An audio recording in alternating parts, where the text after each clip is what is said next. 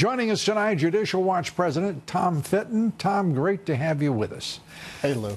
I, I, let's. I want to, if you will, you know this, but I, I just want to make sure that uh, our audience uh, is aware of what Sarah Sanders had to say today, in her own words, about uh, the upcoming Mueller report. I don't think it is going to be damaging to the president because the entire purpose of the investigation was whether or not there was collusion. Mueller was crystal clear in the fact that there was no collusion. We consider this to be case closed. And that was obviously yesterday. Uh, your thoughts? Is she right? Case closed? Well, certainly for uh, everyday Americans who understand that there is no collusion, and uh, so the Mueller report will confirm that. There will be material in there placed by anti Trump activists on Mueller's team.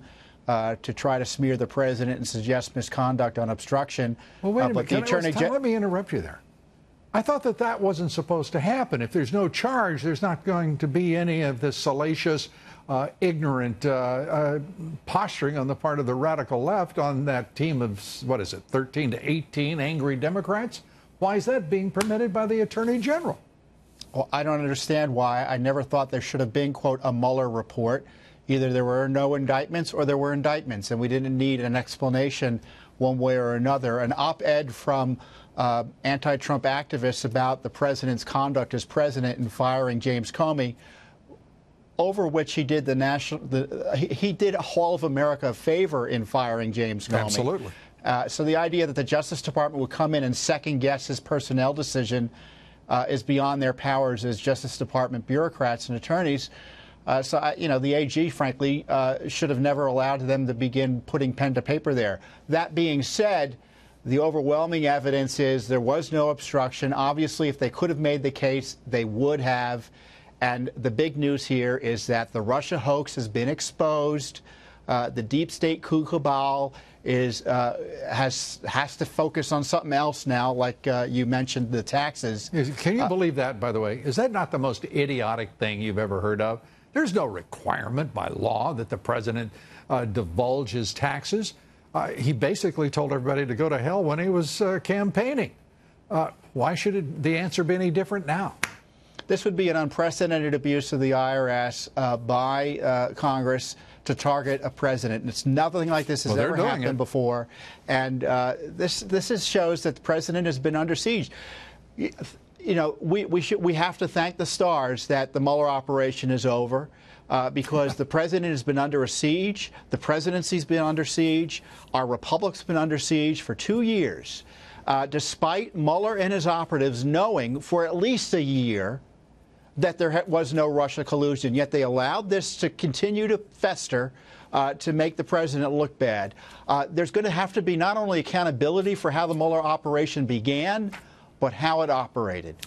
Eh, eh, how it operated, uh, and that's obviously uh, that itself is not yet part of the investigation, but certainly it is uh, a, a, focal point now of the uh, Office of Inspector General at the Justice Department to focus on how uh, this all began in the first place.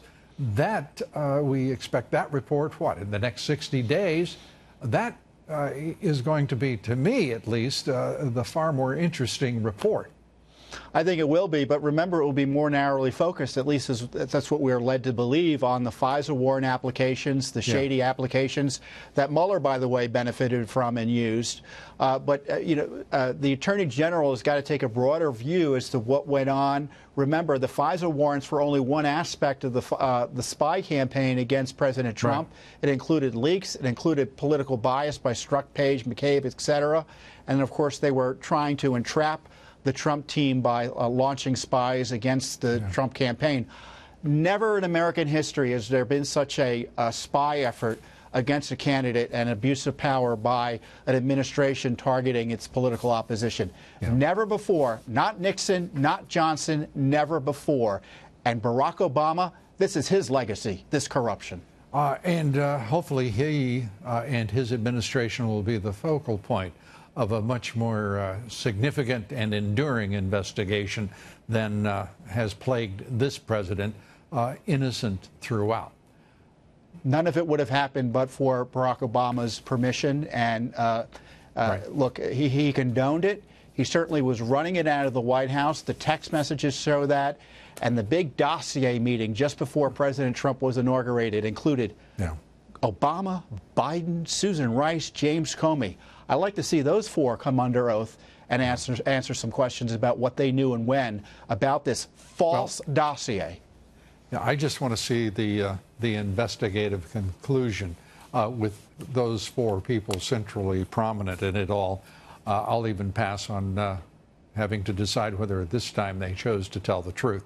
Tom Fitton, thanks so much. Appreciate You're it as welcome. always. Thank you, Good to see you.